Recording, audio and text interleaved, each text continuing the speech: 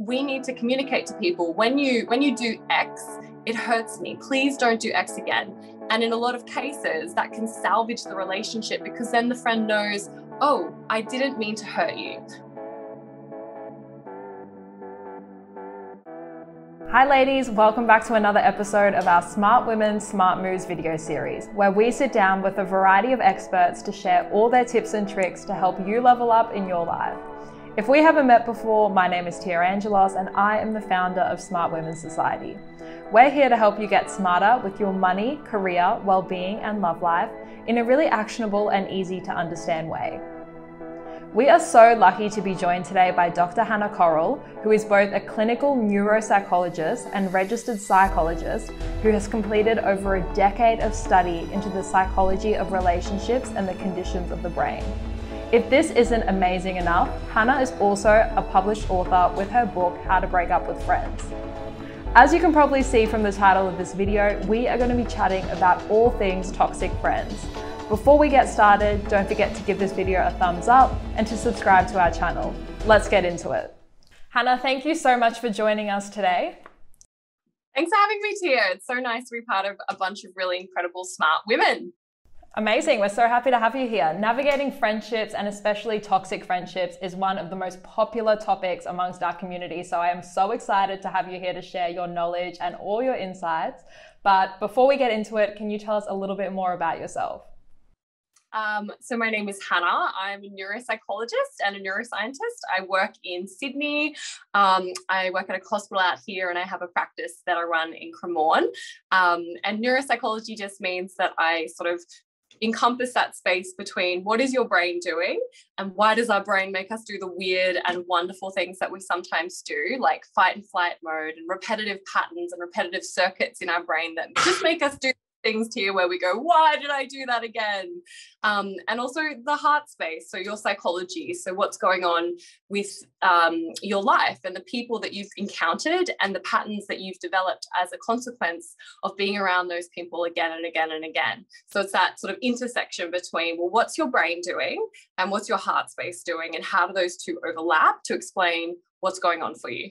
Incredible. I'm so excited to get into this topic. So let's start off with defining it. What actually is a toxic friend or friendship? That's a really, really good question. Um, and it's, it's, something that, you know, you could literally write a book on the topic, which is what I've done. Um, so in my book, How to Break Up with Friends, we really delve into well, what is your toxic friend? So we've all had that one friend who we're stepping on eggshells around, who's making us feel crappy, who's making us feel like we feel worse after we leave the interaction with them than before we even started it. So, you know, it's it's really easy for us to kind of uh, point out abusive relationships or bullying relationships where somebody's overtly screaming at you or swearing at you or um, stealing your money. All of those things are very overt.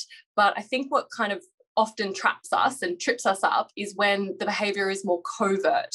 It's more covert types of passive aggressive speaking, um, belittling, putting a person down, making them feel like they are worthless or their opinion is worthless, and that you you essentially have less respect than the individual who's talking to you so your opinion is less regarded, your intelligence is less regarded, your life choices are less regarded.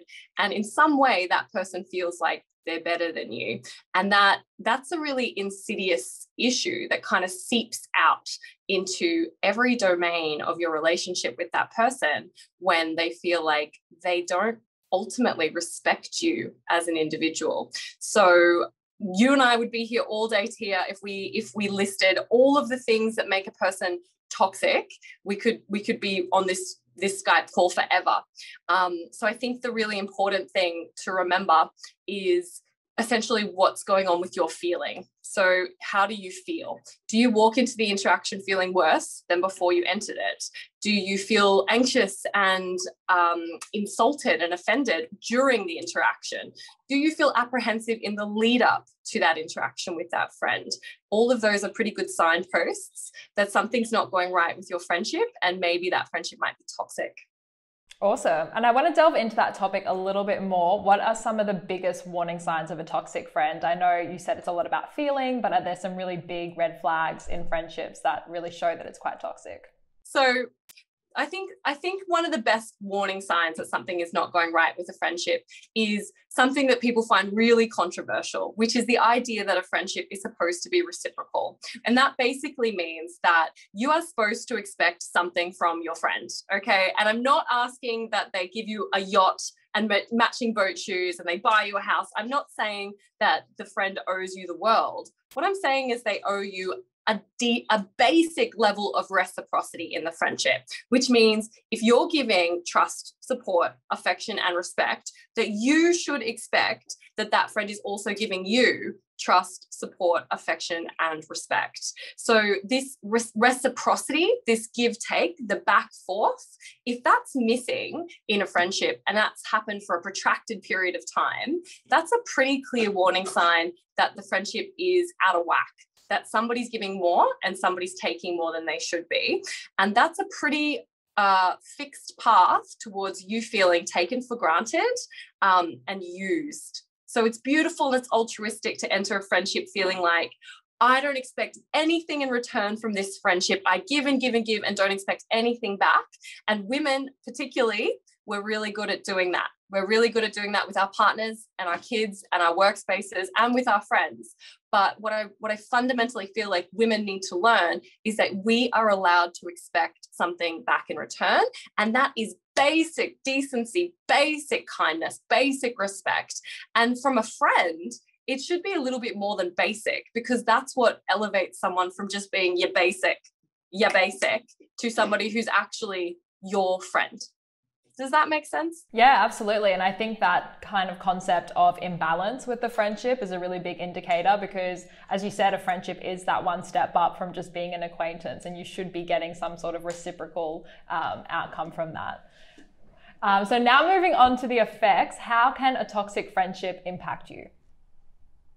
Okay, so this is the best part of the book, I think. I love this part of the book, which is all about talking about what is the neurological impact, what is the biological impact, what is the physiological impact of being chronically exposed to somebody who is toxic to you over time.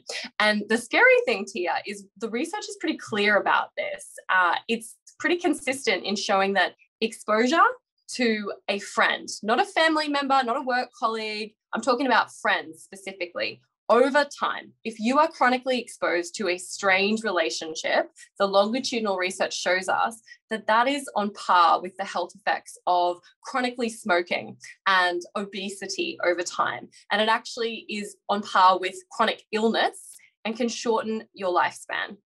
Now, the reasons for that is probably because of something called our vagus nerve in the back of our heads. Now, this is a type of nerve that you've probably heard of fight and flight before, most people have. Yeah. So some people don't realize well that's actually that's actually a, a, colloquial term for something called the sympathetic nervous system or the not so sympathetic nervous system as i like to call it because it actually floods your body with a bunch of stress hormones cortisol adrenaline. It tightens your muscles. It suppresses your digestive system. So i'm talking about the ladies who have food intolerances food allergies tummy aches. Um, it suppresses your sleep it gives you terrible headaches, and it just has this uh, over time cumulative effect on your body that affects down to your cellular level. So the rep- the replication of your cells over time changes, and you get into something called chronic adrenaline mode, and fight and flight mode all the time where you're waking up in the morning and your heart's racing or you're about to go and see that friend and you're feeling stressed out or you see a text message from them and you feel stressed out or you know that they're expecting something from you and you feel stressed out. And and that continual pumping of your heart elevation of your heart rate continual exposure to stress builds up over time in your system and you bear the cost of that. You bear the cost of that over time and research tells us that that cost equals shortening your lifespan increasing your risk of cardiovascular issues increasing your risk of things like dementia and overall making you just feel bloody sad and not happy. And that's that's not a way to live, is it, Tia? No, not at all. And it's crazy how profound the effects can be just from these friendships that we can expose ourselves to. So, if we do find ourselves in this situation with a friend, what can we do? What are our options? Yeah. So, look there's so many ways you can handle these things and i love when i say the the answer that i always give everyone always rolls their eyeballs when i say this to you but it really does start with communication okay so it's not a case of you're out to drinks and sandra has just insulted your outfit uh, and that's the 17th time she's insulted you while you're out and you're five cocktails down and that's when you decide that's it i'm breaking up with her as a friend breaking up with friends is not something that we do in the heat of the moment. And that's really, really important for us to recognize because I think words like integrity are really important. You have you are a woman of integrity. If you're listening to this right now, if you've taken the time to enroll in a smart woman society course, you are a woman of integrity. Okay. And all the women listening to this know what that means deep down in their heart. Like, yes, I have integrity in the things that I do and the things that I say. So, whatever I do, I know that I'm going to walk down the street one day. And if I bump into that person again, if they happen to be on the interview panel of my next job, if they happen to be somebody that I encounter in a communal situation with old school friends again, whatever I've said, I have done with class and integrity so that I know I can hold my head up high if I encounter them again. Now, this all goes back to communication. And women, especially, we kind of grow up in societies where we're told that a good woman is a quiet woman, a woman who doesn't rock the boat, a woman who isn't a buzzkill. God forbid, don't ever be a buzzkill, Tia. Oh, never be a buzzkill, because that's the worst kind of woman. Don't be a nag. That's the worst kind of woman.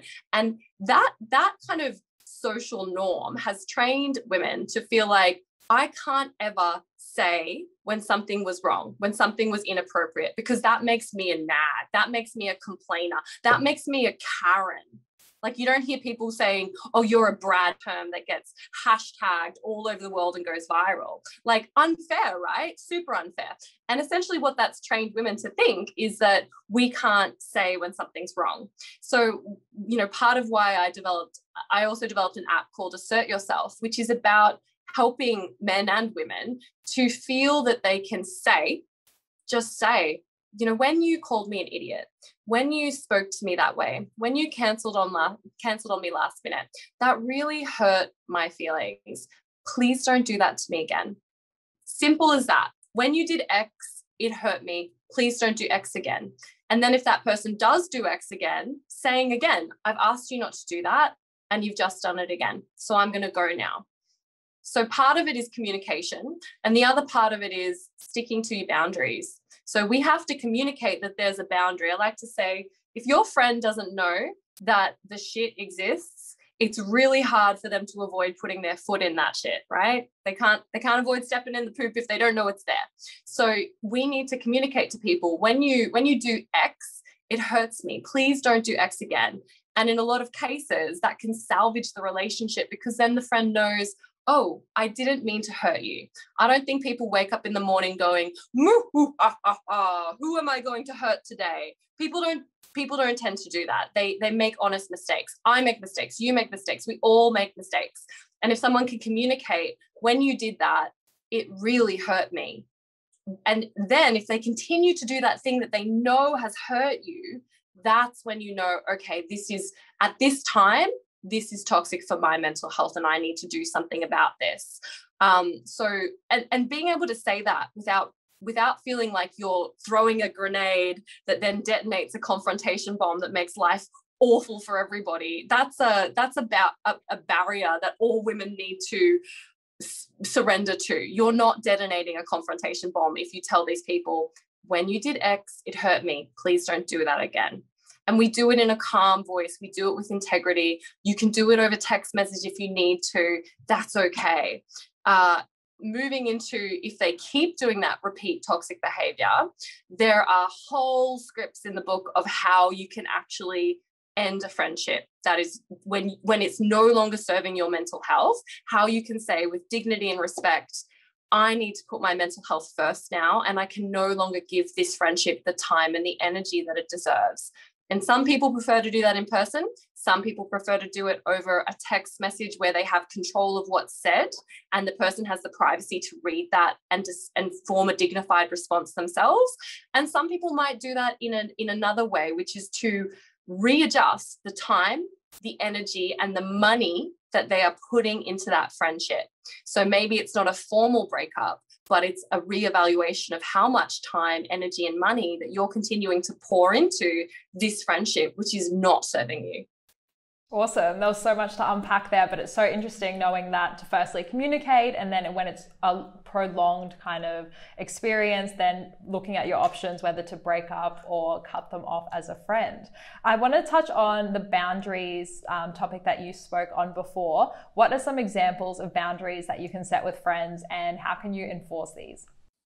Yeah, that uh, that's a really really great. I love that question it's it's a tricky one because it's not traditional to typically like sit down with a friend over brunch and be like okay we're going to set some boundaries now. Like we don't usually preemptively set those boundaries. We kind of just do them as the issue arises. So i guess it's something you need to know within your own heart. You know how am i am i okay with friends swearing around me? That might be okay. But when when friends swear at me and they call they direct them to those swear words to me and they call me names i'm not okay with that. Or i'm okay with lending x amount of money and not expecting that to be returned because they're in financial hardship. But i'm not okay with paying for every meal um, footing the bill and, and footing every expense or not getting paid back large sums of money. Um, it might be that i'm okay with them not replying to my messages or speaking to me because i know they've just had a baby and they need some time or, or I'm I'm I need to have some form of communication with this friend over a span of a year. I can't just not hear from them and then suddenly get the invitation to fly overseas for their wedding. Um, so it kind of comes down to you personally and what you're going through with your friendship. I think when it comes to acceptable excuses, you know, and everybody does, we all, the ebbs and flows of life mean that you're going to have times where you can't give as much to that friendship, just like they can't give as much time to that friendship. So, in terms of you yourself, it's really important for you to have that alarm bell inside your body. And I, that alarm bell means your gut instinct your intuition, your heart. You know when you you know when you go home after an interaction with a friend and you're in the shower and you're washing your hair and you're like, "Oh, why did they say this? Why did they say that?" Or you're lying in bed and you feel crummy in your heart or you've made a commitment to do something like pick them up from the airport for the 17th time in the in a row and they've never once reciprocated and you're feeling in your heart regretful and sad and you're you've got that that icky feeling in your heart which is saying something doesn't feel right about this. I actually am not actually okay with what's happened. That is your gut instinct or your intuition trying to tell you that a boundary for you has been crossed, where you don't feel like something is fair. And it only goes off when you when your heart, your intuition, your gut instinct knows that something's not quite right for you in the long term. Something's not right for you in the long term. So I think it's it's less about being able to go, okay, here's my here's my punitive, exacting, you know, pragmatic rules on exactly how I want to be treated, and I want you to sign this at the bottom of the you know of the contract and promise that you'll never do that. Because that's just not realistic in in today's or ever really in a friendship it's just not realistic. But when something does happen and you are constantly walking away with this kind of niggling feeling in your heart this regret feeling in your heart your your alarm bell your intuition is going something is not right for me. Something is not right here for me. Well that's telling you okay there was a boundary and i need to listen. I need to listen to that part of myself, not push it down, not ignore it, which we're so good at doing. We're so good at ignoring it. When your fight and flight constantly goes off, we start ignoring those intuitions deep down inside us. Um, we start not listening to them because that's how we survived. That's how we survived when we were younger. That's how we survived getting through a toxic relationship because the only way we could have survived was to ignore those feelings um, and not speak up. What I'm asking women to do is to sit in that sit in that discomfort, sit in that space, journal to yourself, talk to yourself, find out why did you feel that way? What was it about that that upset you? What was it? Because often it's just the tip of the iceberg. That one little thing they did represents a huge uh, thing under the surface that hasn't been spoken about. It wasn't that they called me an idiot that one time, it was that for the last 15 years of our relationship, they've undermined me as a friend and they've always treated me as sillier than them or stupider than them or not as good as, them in some way. Uh, and so it's actually not about that one little thing that happened. It's about this other whole insidious hidden under the under the water, the iceberg under the water that it's tapping into. And that's what's making me my heart niggle when something goes wrong. And that's when I need to say, when you called me an idiot, it made me feel sad. Please don't call me an idiot again. So I'm sure I'm sorry it's not a clear cut answer and not a clear list of rules, but I suppose the golden rule is your body has an alarm system. Sadness, stress, anxiety, they're not there because they hate you. They're not there because they're trying to make your life hard. They're there because they really, really love you. Um, they're in your body because they care about you and not for one second of one minute of one day will they stop warning you not to settle for less than what you deserve. And that's why you feel anxious, sad, stressed out. And they're desperately, desperately asking you to talk to them and find out why you feel that way so that you can do something about it. Wow, that's incredible. And always trust your gut, I think, is the biggest thing to take out of that because there will be so many warning signs coming at you and you have to not ignore them to actually realize what's going on. Awesome. So, as always, we asked our community if they had any questions or any situations that you they wanted your advice on, and I have four here that I want to get your insights on. I just wanted to pop in here before we get into the community Q&A to show you two of the amazing products that were kindly sent to us by Logitech to help bring these videos to life. The first one is this StreamCam webcam, which is absolutely awesome because it not only allows you to film in landscape mode, but also in portrait, which is great if you're doing any Facebook or Instagram lives. And then also this blue Yeti Nano microphone, which not only is an amazing blue color, but it also makes all your audio super crisp and clear. So if you're thinking of creating any video content, or maybe you just want to up level any of your Zoom or Teams meetings, definitely check out these two products. Let's get back into the Q&A. So the first one is one of my oldest and best friends is showing a lot of the warning signs of a toxic friend. We have grown up together and have shared so many memories, but I feel like we're going in two different directions and I don't like the way she is treating me. The problem is, I can't just cut her off as this would tear apart our whole friendship group and my other friends still like her. What can I do? Ah, that is the best question ever. And I'm so sorry to hear that that's happening to you, um, to the writer who sent that in. Thanks for having the bravery to send that in to us. Um, I think it's always important for me to point out that uh, longevity does not equal quality. So just because you've had a friend for a really long time, that doesn't give them a hall pass to treat you like crap. And I think something that we often get confused with is when you've known someone for a really long time, like you know, with family members, we kind of we can be a little rude to our family members, can't we? We can be a little snippy with our siblings, and we we might speak to our family in a way we would never speak to someone in public.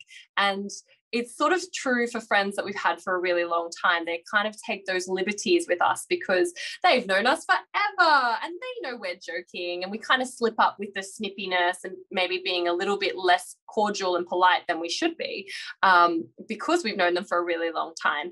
And people sometimes do need a little slap on the wrist that, hey, you know, I'm not your doormat just because you've known me for a really long time. You can't undermine me in this fashion. I'm not 15 anymore and and i need you to respect me like the adult woman that i am. Um, and this is probably a good example of you know i talked before about adjusting your effort levels with a friend because sometimes you do have communal relationships that you need to preserve because there's a wider friendship group and you're going to keep seeing that person again and again and again and again in that friendship group. So for this person i would suggest you know it's it's about kind of calling out obvious behaviors when they happen so if this friend undermines your opinion when you're in a group or calls you a name or doesn't respond to your messages, that's the opportunity that you need to say, when you do X, it makes me upset. Please don't do X again. So giving that friend an opportunity to see the behavior and correct the behavior. Uh, and that doesn't mean you have to like air your dirty, dirty laundry with that friend and go into the entire history of your friendship and say, you know, for X many years you've treated me badly. It just means that the next time she does anything that hurts you, or that's rude to you, that's passive aggressive to you, that's when you would call it out and say, you know, the way this conversation is going is making me feel really uncomfortable. The way you're speaking to me, the tone of your voice, the the comments you're giving me, the way you're treating my opinion is making me feel uncomfortable and I need you to stop. And uh, please don't speak to me that way. I'm trying to help you. And if they speak to you again that way, it's it's about saying, I've asked you not to do that and you've just done it again. So I'm going to excuse myself from this because I'm feeling uncomfortable and then leave that situation. And then, you know, that opens the doorway for you to have more conversations where they can say, I'm really sorry, I didn't mean to speak to you that way. And you can say, Yeah, thank you, I appreciate that. And then if they keep doing it, well, that's when I would say in those situations, maybe the best solution for you and we talk that talk about this in the book is is readjusting those effort levels. So how much time and energy and money are you giving to this friendship? Should you be going across town to see her for her birthday? Should you be spending hours on the phone chatting to her about her boyfriend troubles? Should you be putting that same level of effort into the friendship when it's very clear that her level of effort is insidiously rotting your friendship right down into the bottom of the ocean. So, you know, I, I think in that case, readjusting those effort levels is probably a good place to start. But also, don't be afraid to communicate when she does the thing that really upsets you. The next question is kind of flows on from that, but how do you set boundaries with a friend who's not likely to react well to them? oh my God. Yeah, this is the one that I think um, makes it difficult for us to set the boundaries when you have that friend who you know is going to react explosively to whatever you say. Uh, and I'm a big fan of texting. I'm actually a huge fan of that. Like, I know people say, oh my God, you can't possibly text somebody. That's the worst. I disagree. I think you know we're we're in a different time now. It's it's 2021. Back in the days when Seinfeld and Sex and the City used to make jokes about sending messages over important messages over text and how inappropriate that was. It's a different time. It's a different stage nowadays. A lot of important things are sent over text messaging. It's our modern day equivalent to, to letter writing. Um, so i think being having the space and the distance from a friend who you know is a little bit explosive is best for you. So that means writing up a carefully worded message and, and we do have a lot of templates in the book of how you can word it where it's respectful and where you're having integrity. And you're saying things like you know i'm sorry i put this in a text message. I just my mental health was not in a place where i could have this conversation face to face with you. And that's okay. You're allowed to own that. You're allowed to own i didn't feel confident to have this conversation with you in person. And you're allowed to have an interaction with a friend where you feel like, you know, I probably should have did what Hannah said and I should have called them out when they called me an idiot. And I didn't do it in the moment. So now I can't do it. That's not true. You can call somebody out on their inappropriate behavior after the fact. You are allowed to call people out on inappropriate behavior after it's happened because you've had time to think about it, to digest it, to sit at home and to write a carefully worded message to that person, which explains when you told me to shut up, when you interrupted me repeatedly, when you laughed at my opinion with the other guys at the table, it really hurt my feelings. Can you please not do that to me again? You're allowed to do that. And if you put it in a text message, what that does is it gives you time to sit and breathe through the message, make sure that it's a clear cut message, behavior, how it made you feel, and what you're asking them to do. When you called me an idiot, it upset me. Please don't do it again. Nice and simple. No added layers to that. Nice and simple. And it also gives them the privacy to read through that message, reflect on that message, and maybe they might surprise you right back a message that's actually mature and dignified and shows a bit of insight. And if they don't react with maturity and insight and emotional intelligence, you aren't around them. You don't have to reply to those messages. You don't have to say anything back to those messages. You don't have to take a call. You don't have to respond. You can wait a couple days for both people to calm down and to and for that person to calm down and speak to you when they are able to speak to you with the same level of integrity and respect. So, you know, don't be afraid to communicate with people who you know are volatile in a way that you feel comfortable with. You are allowed to communicate with people in a way that you feel comfortable with. There's nothing wrong with that. This next one is quite interesting and was quite popular. And it says, What about if I'm the toxic friend? What do I do? I say in the book, you know, there's a lot of mentalities of why we might stay with a toxic friend or why we might be thinking about toxic friendship. And of course, we have these moments where we're going to go, is it me? Is there something that I'm doing? And I think having that level of awareness where you're reading a self-help book or where you're questioning what have I contributed to this situation, that's a pretty good sign that maybe you're not an asshole. I mean, I can't, I wish I could look through the screen and assure you, you're definitely not an asshole. But, you know, people who take the time to do self improvement and self awareness and introspection that's when we look into ourselves and we see what we have contributed to a situation. Those people have a higher level of intellectual intelligence, and those people are working on what parts did they contribute to this friendship? And maybe it was, yeah, I said some things I shouldn't have said when I was a bit drunk and it was late at night, and I regret doing that. Um, or like in the book we have a whole chapter a whole chapter on jealousy uh, and a questionnaire on are you jealous are you the one who's maybe giving a bit of jealousy to the friendship and and maybe that's insidiously eating away at the friendship. Um, and so doing those exercises that actually help you to see well what what am i contributing to this situation? Um, and i suppose all i can say is you know one of the best best lessons that i've learned and i talk about this in the book is is a genuine apology a genuine apology. Uh, how many times in your life tia have you found that somebody's done something wrong to you and you've communicated it with them or you, you've just deeply deeply deeply wished that that person would please please please just realize what they've done and say i'm so sorry. I, I honestly didn't mean to hurt you. I know that i've done that and you know what? I'm i'm going to work really hard to make sure i don't do that to you again. I'm so sorry that i did that. Offering a genuine and sincere apology for past behavior is almost this magical silver bullet that diffuses a lot of situations. When someone truly offers not a fake apology, a genuine apology. I am so sorry if I have hurt you in the past. It wasn't my intention. I I, I think I was fueled from this insecurity or that insecurity. And we talk about those insecurities in the book. Um, and that's why I behaved the way that I did. And you know, I'm I'm working on it, and I'm I'm going to promise you that I'm going to try really hard not to do that again. And if I do, please do call me out on it.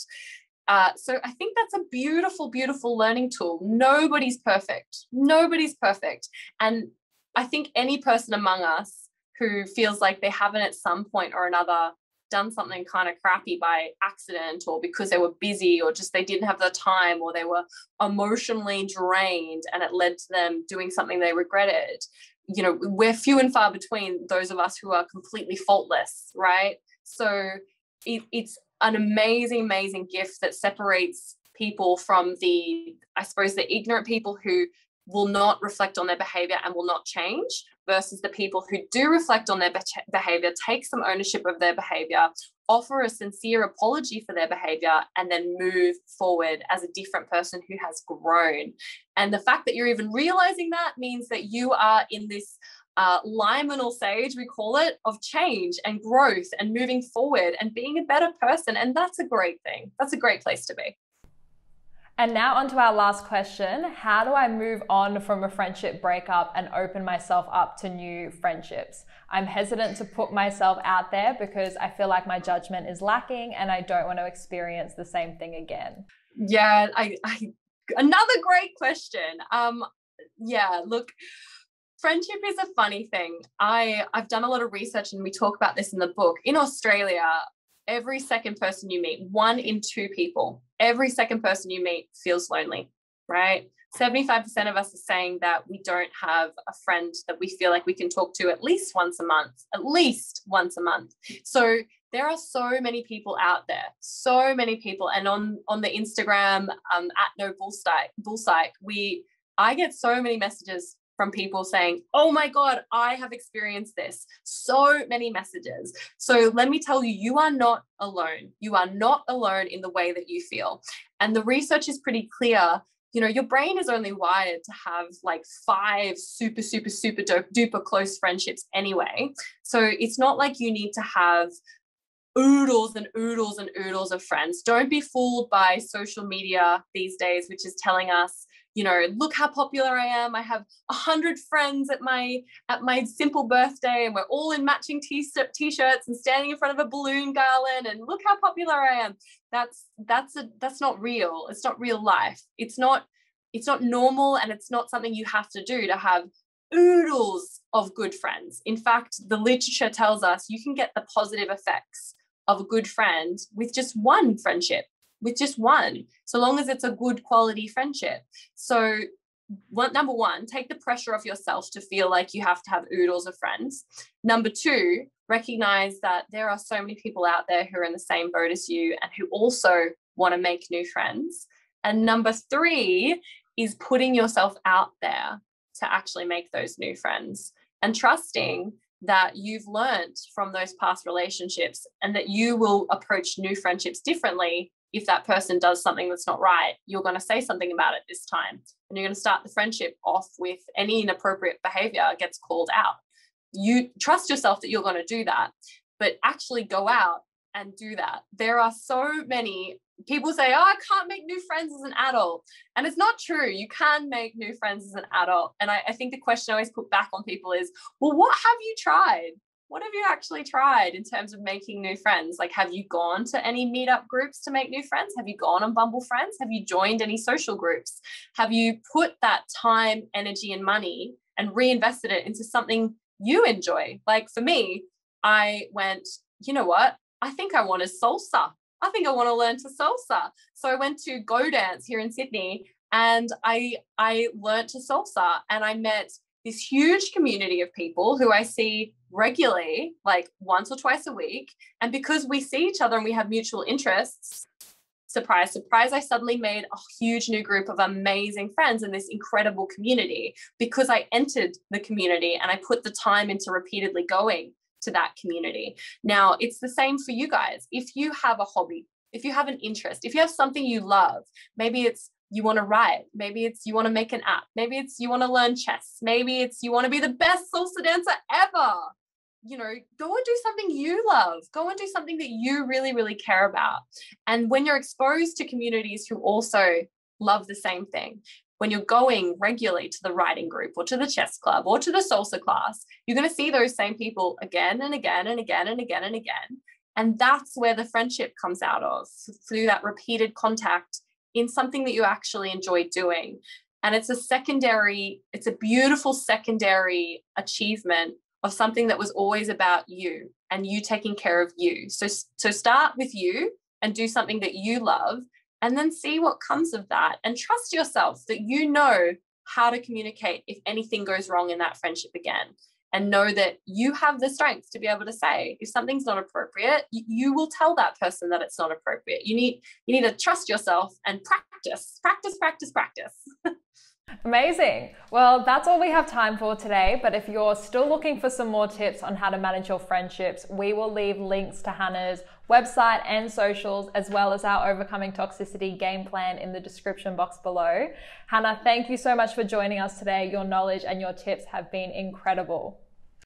Thank you so much for having me. And thanks so much for creating this incredible platform. Go and join the Smart Women Society on Instagram because it's just one of the most beautiful. I love your posts, guys. Every time I see them, I'm like, yes, I can take control of my finances. Yes, I can take control of my life. So thank you for all the content you guys put out. You're very welcome. Thank you for your kind words. We hope you enjoyed this video today. Comment down below what other topics you want us to cover and don't forget to give this video a thumbs up and subscribe to our channel. Thank you for watching and we'll see you next time.